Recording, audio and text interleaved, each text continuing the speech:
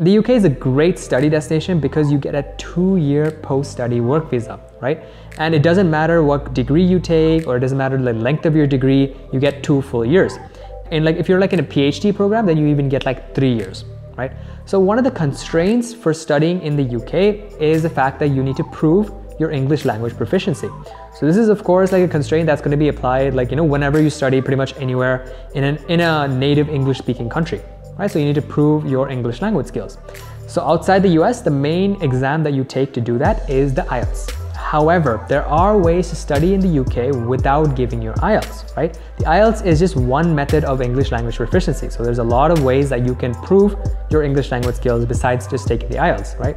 So I'm gonna give you guys in this video like a list of universities that don't require the IELTS for you to prove your proficiency in the English language, right? So if you wanna get to the list, you know, you can go to this timestamp right here. But before I get to the list, I wanna talk about the ways that, the, that these universities will ask you to prove your English language proficiency outside of, you know, actually taking the IELTS exam. So the first way is that, you know, universities will ask for the medium of instruction of your previous education.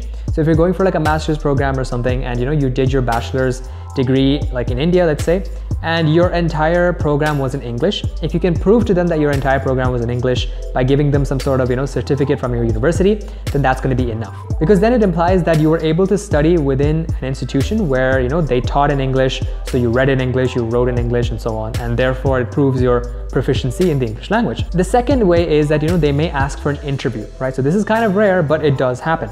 So they may ask for like a one-on-one -on -one interview or maybe like a group interview and just to check, you know, if you can speak English well, if you can communicate in English well, and so on. Another way is that, you know, they may even check your previous English scores, right? So for example, let's say you took English in high school.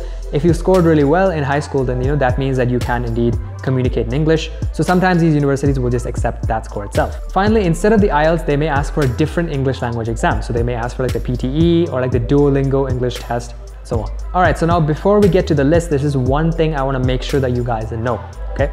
To study in the UK, like, like I said, okay, you don't need IELTS, but to get that student visa, you do need to prove your English language proficiency. And the traditional way to do that is through IELTS.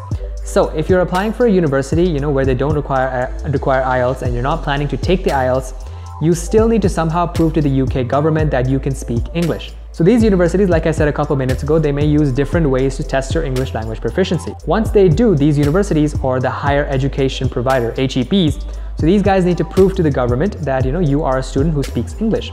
So they may give you like a written document stating that, okay, we have tested your English language proficiency and found you to be like proficient. And then you can, you know, submit that document to the, United, to the UK government and then, you know, they'll, they'll basically give you your student visa. So now here are the list of universities in the UK that don't require IELTS for you to study them.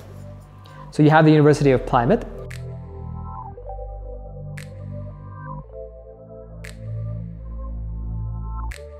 you have the University of Portsmouth,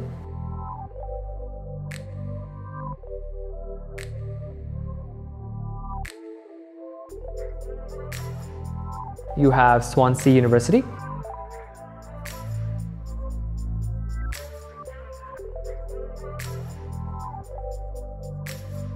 You have University of Warwick.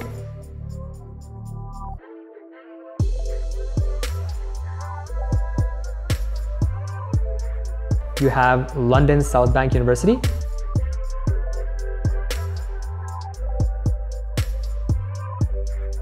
Now this is just five universities. If you want the full list of 15 universities, follow the link in the description to our blog where you know we've listed the entire list. And you can just go check out those universities and make sure that your program for your program you know they accept students without the IELTS. And that's pretty much it. Thank you guys so much for watching. Leave a like in this video if it helped you.